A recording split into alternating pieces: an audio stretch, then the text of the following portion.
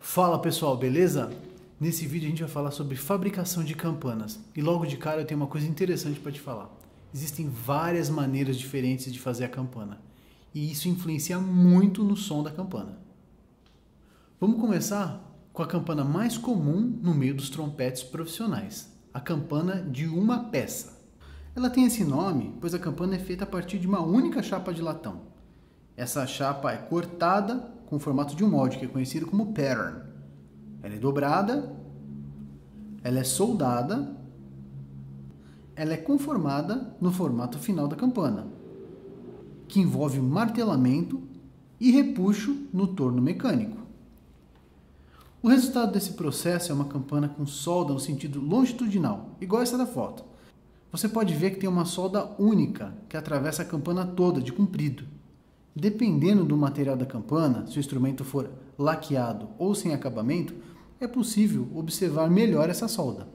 Normalmente, essa solda é de latão amarelo, por isso fica mais evidente nas campanas com maior teor de cobre, porque dá diferença na cor.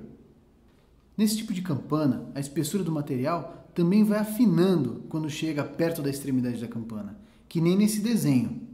Isso acontece pois a chapa afina no processo de martelamento. De maneira geral, o som dessa campana é bastante vivo e brilhante. Só que nem todas as campanas de uma peça são iguais. A diferença começa já na hora de cortar. Ela é cortada em cima do modelo chamado pattern. E o pattern de cada empresa é diferente. Ele também vem mudando com o tempo. Por exemplo, o pattern que o Vincent Ball usava lá na época de New York, Mount Vernon, já não é mais o pattern que a Vincent Ball usa atualmente. Nessa foto, o pattern que aparece à esquerda é mais tradicional.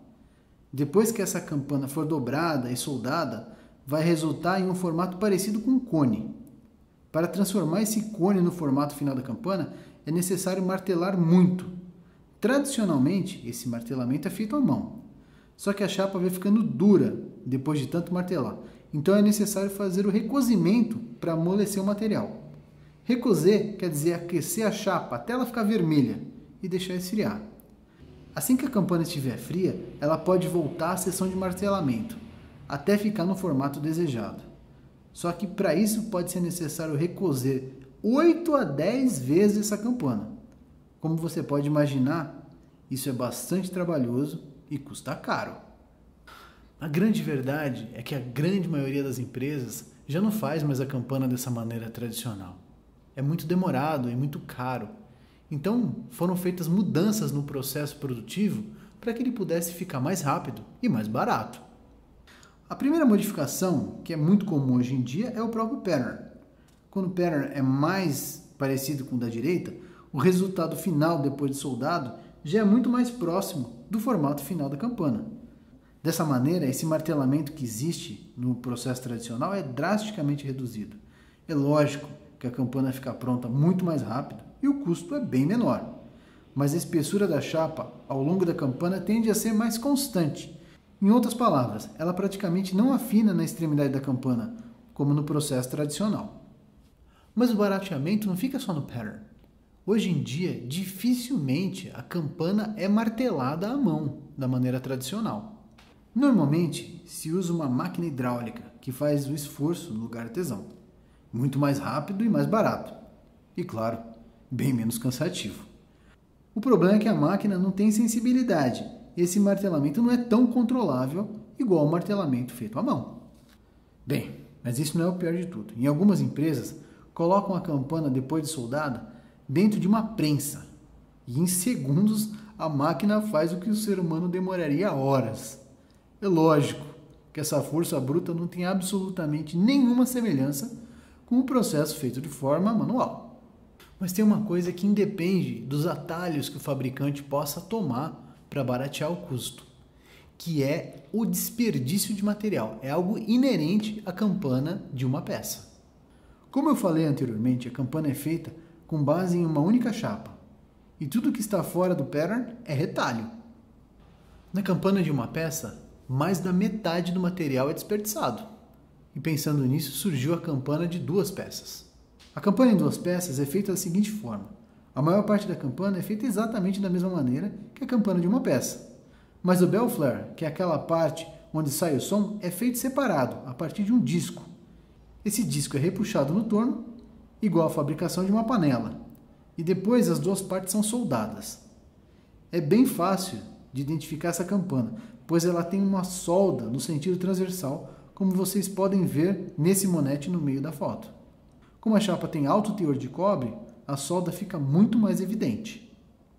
A diferença entre uma campana de uma peça e duas peças não é apenas a quantidade de retalho que ela produz. Uma das diferenças que existe é a existência de uma solda transversal que fica aqui, que alguns acreditam que atrapalha a vibração. Pelo menos é isso que o Vicente Bá dizia.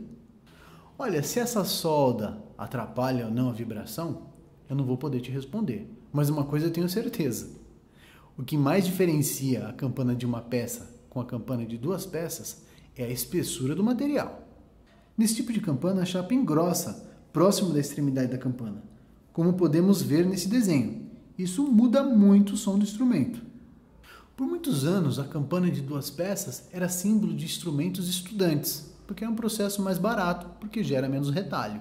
Mas mesmo assim, algumas marcas top usavam a campana de duas peças. É o caso da Olds, mas a campana de duas peças só voltou com força total com Dave Monetti. Para quem não sabe, todos os trompetes fabricados pelo Dave Monetti são feitos com duas peças.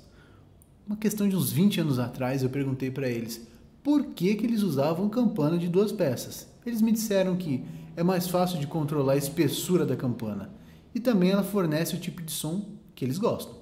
É lógico que depois do sucesso do Monetti na década de 80, muitas outras marcas surgiram fazendo uso da campanha de duas peças. É o caso da Taylor, Lotus, Eclipse, Divid, só para mostrar algumas. A Yamaha também usa esse tipo de campana nos seus instrumentos estudantes, mas dificilmente você vai conseguir identificar onde é que fica essa solda. Isso porque a Yamaha faz solda laser e funciona mais ou menos assim. Eles juntam as duas peças e solda laser aquece elas até derreter. E quando solidifica, elas já estão soldadas. Portanto, não tem latão, não tem estanho, não tem nenhum material de adição. Esses dois processos produtivos que eu falei até agora são com base em uma chapa, tanto a campana de uma única peça como a campana de duas peças. Mas existe um outro processo que é feito por eletrodeposição. Funciona mais ou menos igual quando o instrumento é prateado ou dourado. Íons de prata são depositados em cima do instrumento. Aqui é a mesma coisa. Só que eles usam um mandril feito de aço inox e depositam ali uma quantidade de material conforme a espessura da campana. O resultado é uma campana que não tem nenhuma costura, não tem nenhuma solda e ela tem uma espessura mais ou menos constante ao longo dela. E praticamente a gente só tem campanas assim de prata e de cobre. Não existe, por exemplo, campana de latão feito por eletrodeposição. Um bom exemplo de campana de prata feita com eletrodeposição são as campanas by Sterling Silver. Eu já toquei um instrumento desses e posso garantir que o som é bem vivo, especialmente nos fortíssimos, ele brilha bastante. No caso da prata, eu acho que é até uma questão econômica. Imagina fazer uma campana através de uma chapa e metade dessa chapa ser retalho. Essa brincadeira vai ficar caro. Dois exemplos clássicos de campana feito por eletrodeposição são o Constellation e o Coprion. Constellation e o Coprion. O Coprion era uma campana de cobre puro feito por eletrodeposição, como esses instrumentos da foto.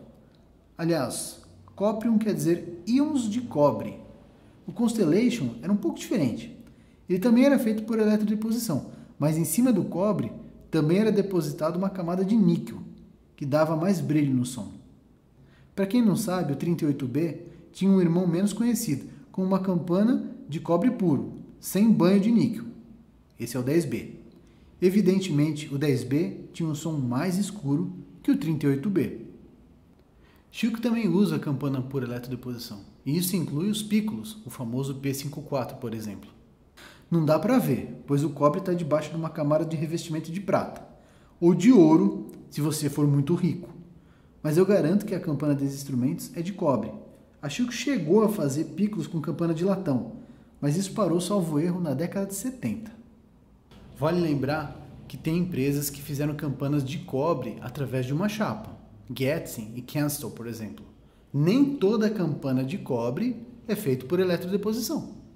Essas são apenas as três formas mais comuns de fabricar campana, mas existem outras maneiras de menor expressão, que não vamos nem entrar em detalhes aqui, como por exemplo fazer a campana com base em um tubo e ser usado em instrumentos estudantes pela Getzing, por exemplo. Mas você deve estar se perguntando: ah, será que isso faz mesmo diferença? Eu te garanto que faz. Quando a Besson estava desenvolvendo esse instrumento aqui, eles fizeram dois protótipos com exatamente o mesmo formato de campana. Um feito com uma campana de uma peça e um feito com uma campana de duas peças. E chamaram alguns dos melhores cornetistas da Inglaterra para testar. E o resultado foi unânime. 10 a 0. 10 selecionaram o mesmo e ninguém selecionou o outro. Quer saber qual que é? Duas peças. Outro bom exemplo disso, eu posso dizer que é o Adams A6. É uma cópia do Constellation 38B. Só que a campana do A6 é feita com base numa chapa e não por eletrodeposição como no 38B. Eu particularmente acho que o A6 soa até melhor do que o 38B. E eu atribuo pelo menos parte dessa diferença na forma que a campana foi fabricada. Uns 10 anos atrás, mais ou menos, eu tive a oportunidade de conversar com o engenheiro da Adams, o cara que desenvolve os trompetes da Adams e perguntei por que que no A6 eles não fizeram uma campana por eletrodeposição, igual é o Constellation original. Ele falou que eles não têm experiência nenhuma em fazer campana por eletrodeposição. Por outro lado, eles sabem muito bem fazer uma campana de uma peça através de uma chapa. Eles fizeram o protótipo e gostaram do resultado. Eu também. Você deve estar se perguntando, mas qual que é melhor então? Uma peça, duas peças? Bem, cada fabricante fala que o seu processo produtivo é o melhor. Isso é lógico mas é uma questão de gosto. Por exemplo, uma campana de uma peça, ela tem um som mais vivo e brilhante e pode ser bem interessante no caso de um trompete. Esse aqui tem uma peça. Mas no caso de um cornete ou de um flugelhorn, onde um som mais escuro é desejado, uma campana de duas peças pode ser bastante interessante, que é o caso desse instrumento. Aqui na descrição do vídeo eu vou deixar vários links com outros vídeos sobre fabricação de campana. São vídeos bastante interessantes. Espero que você tenha gostado. Até o próximo.